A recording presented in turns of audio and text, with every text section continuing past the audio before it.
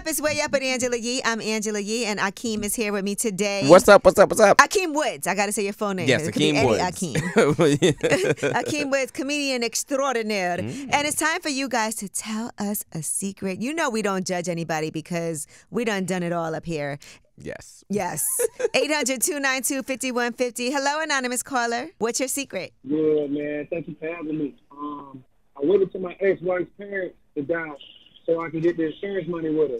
Wait. Wait, what happened? You did what with your ex-wife? I waited till her parents. I, I stayed with her until her parents died Oh. so I could get the insurance money with her. Oh. Wow. Wait. So okay, and then once her parents died, you got the insurance money, and then you filed for divorce. Hell no, they ain't died. We divorced before they died. Wait. Wait. Wait. How old are they? Are they on the cusp of dying? Like how old are these parents? Yeah, yeah. they're on the cusp of dying. Cancer, all types of shit.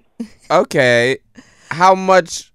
But that's your ex now, Yeah, yeah. I was married. so you're not gonna get any money. No, no, no. We moved on. But Oh. that's just something I had to get off my heart. Okay. I've been keeping it in for so long. How how much? How much money is it? out into the world. You didn't end up getting any money though. No, no, no, no, no. I, I, I kind of, I kind of just got out of there before all that. Okay. Yeah, it wasn't gonna work. He tried to stick it Oh. through. He was like, I might as well benefit and get this, but he couldn't wait. Okay. I mean, it depends on the money. I would have waited. I mean, that feels like that's a practical. that's a practical. You know, people do things. Yeah, yeah, yeah. I mean, if it's a good chunk, I'm like, we already in it. We might as well.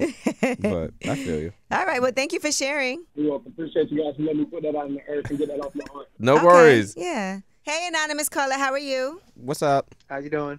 Good. It's me and Akeem, and we want to hear your little secret. Um, all right. So, um, when I was younger, uh, a few years ago, um, I was at a house party. It was more like a friend's housewarming, Okay. and then I was a little drunk, so I was in the bathroom. You know, had to go number two. Mm.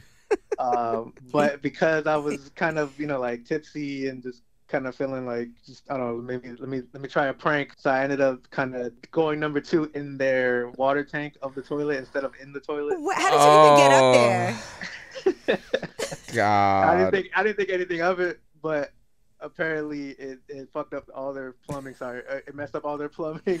Oh my gosh, that must have been a serious number two. Yeah, just kind of. It don't even have to be that serious because you ain't supposed to put anything at the top. Like, Let me ask you this: How did you uh, how did you balance above the tank? I kind of just stood on the toilet with while while it was closed. And Okay, and took that Oh. off. Wow, that seems uncomfortable too.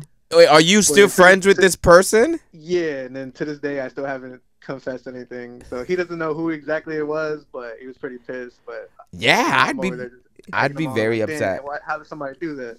Ooh, He- Uh, but okay. yeah, obviously I regret it because it cost him a lot of money to repair look it. at but- that! Your little prank. Oh. Okay, your little poop ruined the whole plumbing system. You need to go ahead and cash app that man. and you need to change your diet, okay? cash app that man whatever it costs, at least half. Right. You need to take him to dinner and, and just say, "I just felt like I needed Yeah, to do this." take him to dinner. Buy, buy him a just because gift.